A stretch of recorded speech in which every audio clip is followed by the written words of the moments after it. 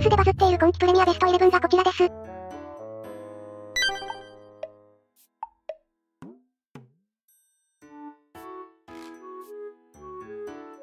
結構ガチ戦、約1年何を見てきたの？ディフェンスラインの選出終わってて草。点数疑う。普通にスパーズとか誰も入らんだろ。61失点でガチ戦はさすがに草。自信のしか見てなくて草怖いほどセンスないわ。GL 権獲得チームは計3人しかおらんのに、5位から鬼の4人選出なの草。ワトキンスおらんの草。サリバも必須やろ。スパサポだったらサリバ、マガリャンを入れたくない気持ちはわかるけど、ファンダイク入れないのはシンプルに見る目ない？お気に入り戦なら理解するけどガチ戦の場合はさすがにひいきすごいわ。立場が逆ならグーナー祭り開催されるの草。いろいろスパーズひいきしてると思いきやヴィカーリオを入れてないとかでどっちかわからんて。この人私情バリバリ入れてるけど多分個人的やしちゃんと謝ってんの好感持てる。